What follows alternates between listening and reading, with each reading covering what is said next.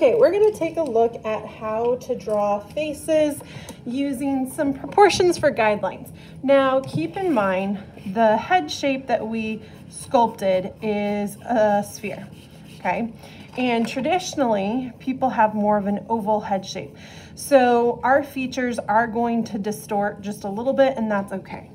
Now, the first thing we can think about, or the first thing I want you to try, um, draw a light line down the middle of your circle. So draw a vertical line down the middle of your circle.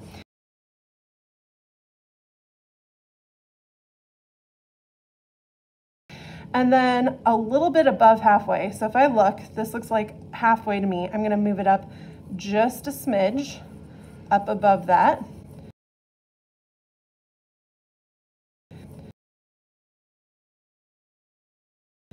Okay, this is gonna be my eye line, okay? And then halfway between the top of the head and my eye line, that's where my hair is going to start. So think about where the hair is parted from. Is it parted from the middle?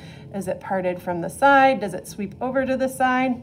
Um, so think about what kind of hairstyle you might need for your person. Now my dad's hair is usually parted to the side. It's a little longer through here, a little maybe shorter through here.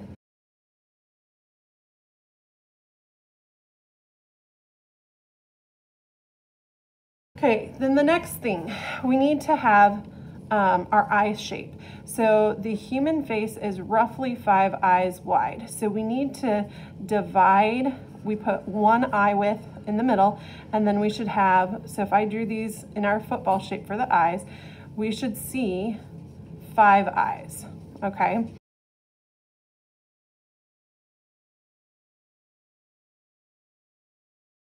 So I don't want to keep all of those though, so I can just keep the two that I want and get rid of the rest, okay? So the shape of our eyes is going to be almost like a football or an almond shape, okay? So we're gonna draw something kind of like this. Now, keep in mind, these are general proportions. So people can have different shapes for eyes. Some are bigger, some are smaller. Um, this is just a starting point.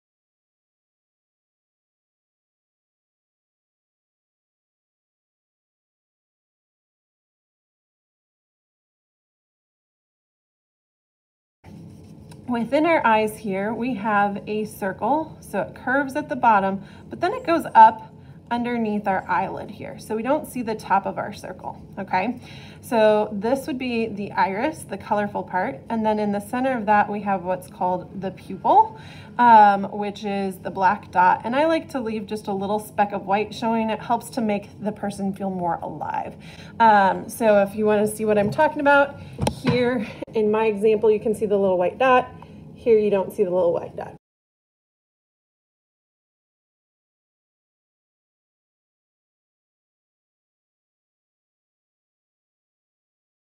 So for our nose now, our nose is about halfway between our chin and our eyes.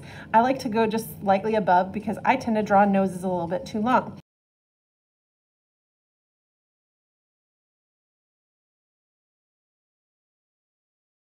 Now, at the bottom of our nose, we have a curve shape, okay?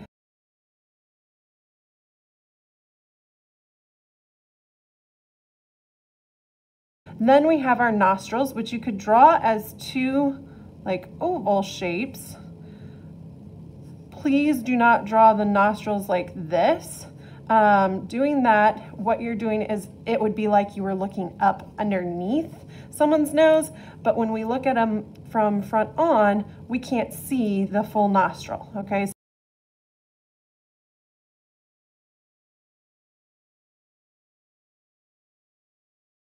So it would be more of a squashed oval shape.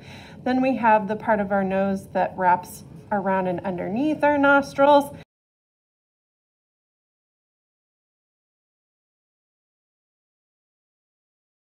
And sometimes this can even form, um, like we can even draw a line to show like the bridge of the nose. Sometimes uh, people will also have a very defined top um, point uh, or bridge to their nose that you can also show this way.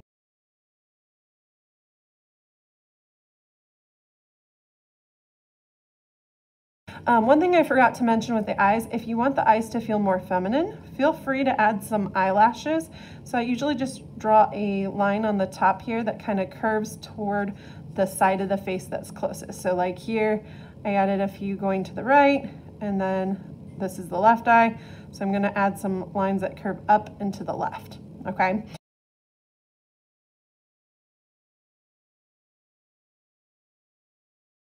And then we also forgot our eyebrows. So think about the shape of the eyebrows. A lot of times it'll start right in where the corner of our eye is. And then I just use a little bit of lines to show it. Um, some people like to just use a single line to show it. It's up to you. It tends to arch up and then come back down um, by the edge of our eye, okay?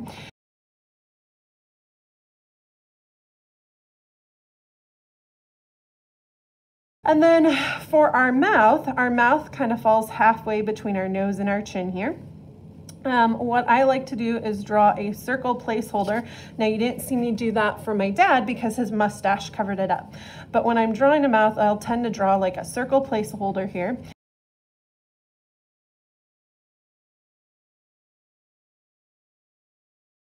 And then our mouths actually start um, in the center of our eyes. So if I come to the center of my eye and come down, I can make a mark on either side um, to show where my mouth would stop.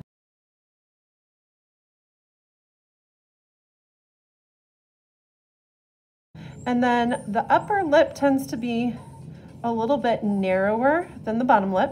So here I start with a gentle curve up, another curve here, and then bring it back out. I apologize, my dog is whimpering in the background. For the bottom of the lip, I can bring it down and around for a big curve.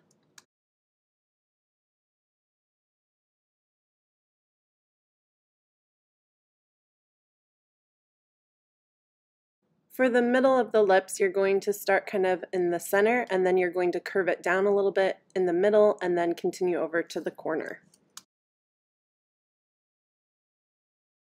Once you are finished drawing your mouth, take a look at its size and shape. Does it look like it fits the face? You might need to make some adjustments. So for mine, I felt like it was a little bit too um, large, so I brought the lower lip up.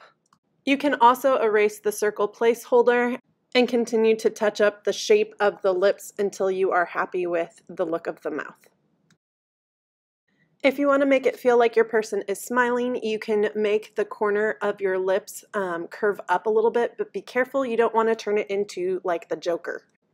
You could also choose to add the creases. Um, a lot of times when we smile, our mouth curves up and it creates uh, creases or corners where our cheeks raise up. You could also choose to have the mouth open. So if you want the mouth to be open, um, you would stretch the edges out just a little bit. It's going to make the upper lip just a little bit thinner. And then the bottom lip or the bottom part of the mouth you would drop down. You would have the bottom lip here. And then if you wanted to have teeth, you can have them kind of curve back, line in the center, kind of have them spaced out from there. And that could be how you could have an open mouth as well, okay?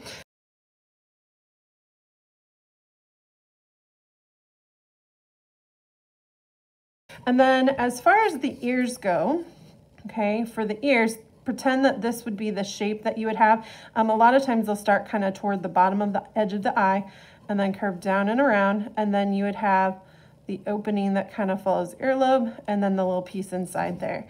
And you would have that on either side.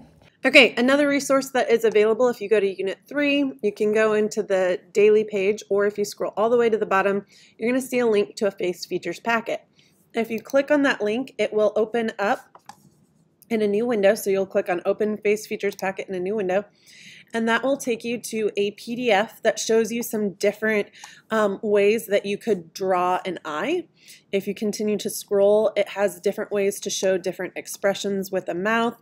Um, it also shows you different ways that you can draw a nose or um, show expressions through your eyes, um, different ways to draw the mouth again, different lip shapes, and also different ear shapes as well. So this is a resource that is available to you in Canvas.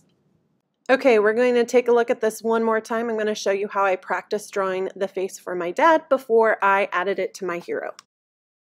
On your worksheet, you have two circles, so if you would like to practice again, you can, or you can also freehand a circle on the back side to practice it. Once you are ready, you are going to go ahead and use your pencil to draw um, the face onto your actual sculpture. When you are happy with how the face is drawn on your sculpture, I would recommend getting a very thin Sharpie um, from the teacher and tracing your design in the thin Sharpie first, and then tomorrow we will start to work with paint um, add any color that we want in the face. So again, just a reminder, we will not be painting today. We will just be practicing drawing the face and then drawing the face onto our sculpture so that it is ready to paint for tomorrow. So I hope this kind of helps you see um, some different shapes or styles that you might give to the face.